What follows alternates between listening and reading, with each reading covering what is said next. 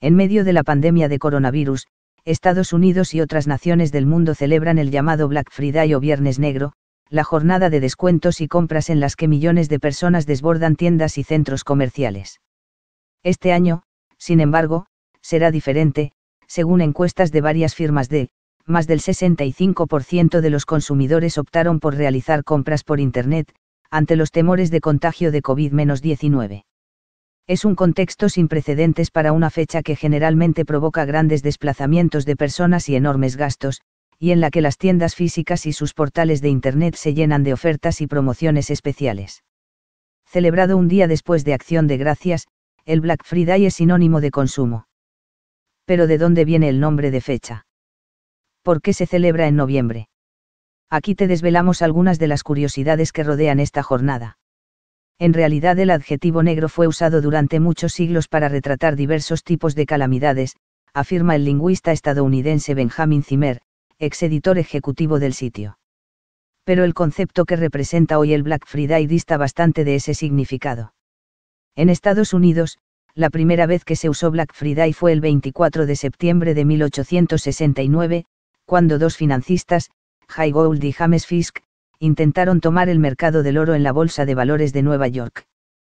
Cuando el gobierno fue obligado a intervenir para corregir la distorsión mediante el aumento de la oferta de la materia prima en el mercado, se produjo una crisis, los precios cayeron y muchos inversores perdieron grandes fortunas.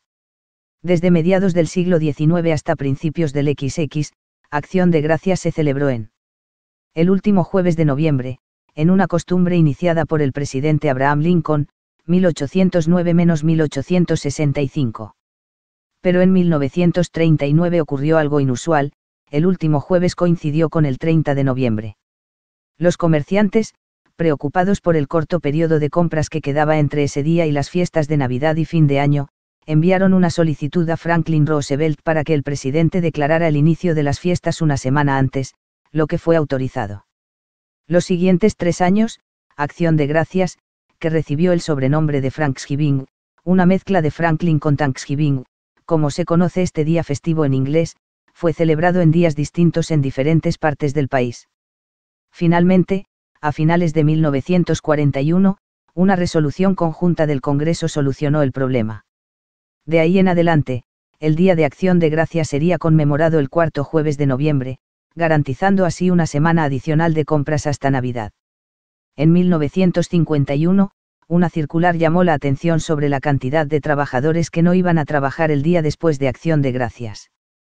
Según Bonnie Taylor Blake, investigadora de la Universidad de Carolina del Norte, el Boletín del Mercado Laboral Factory Management and Maintenance reivindica la autoría del término síndrome del viernes después de Acción de Gracias asociado con el periodo de fiestas.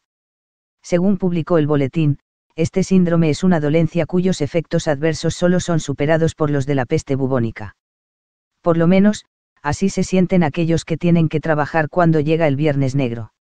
El almacén o establecimiento estaba medio vacío y los que estaban ausentes era por baja médica.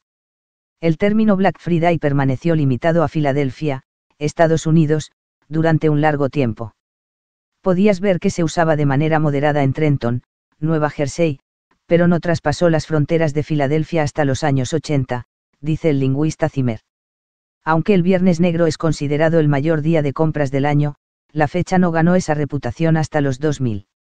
Eso fue porque, por muchos años, los estadounidenses no tenían devoción por este día de rebajas, sino que más bien optaban por retrasar el momento de ir a las tiendas.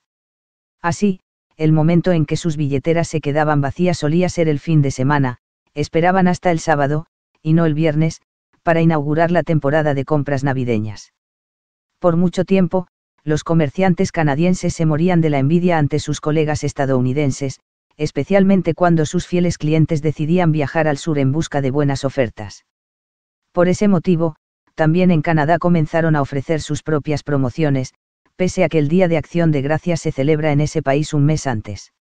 En México, el Viernes Negro recibió otro nombre, el Buen Fin se asocia al aniversario del inicio de la Revolución, el 20 de noviembre de 1910, que a veces coincide con el Día de Acción de Gracias en Estados Unidos. Y como el nombre indica, el evento Buen Fin dura todo el fin de semana. En Brasil, donde el feriado de Acción de Gracias no existe, el Viernes Negro pasó a incluirse en el calendario comercial del país cuando los comerciantes se dieron cuenta del potencial de ventas del día.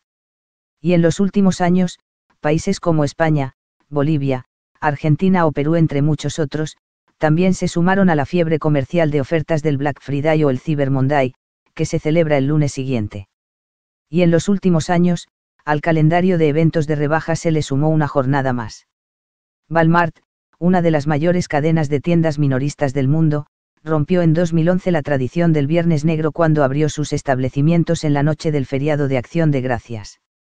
Esta práctica comenzó a expandirse por buena parte del mundo y a ese día adicional de compra se le bautizó como Jueves Gris.